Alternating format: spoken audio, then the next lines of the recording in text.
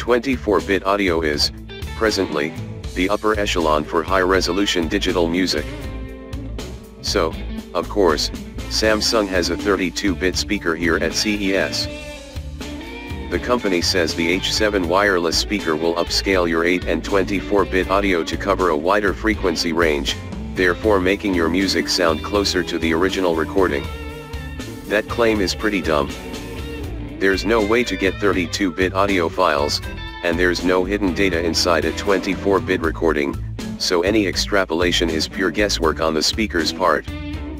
But that doesn't mean the H7 is a complete write-off. For what it's worth it's a very attractive wireless speaker, that also sounds pretty good too.